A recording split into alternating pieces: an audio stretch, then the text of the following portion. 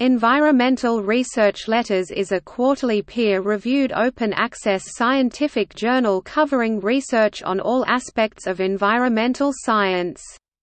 It is published by IOP Publishing. The editor-in-chief is Daniel Kammen University of California, Berkeley.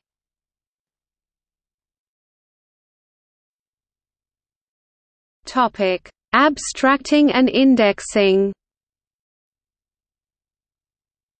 The journal is abstracted and indexed in Chemical Abstracts InSpec Scopus Astrophysics Data System CAB Abstracts Environmental Science and Pollution Management GEOBASE GeoRef International Nuclear Information System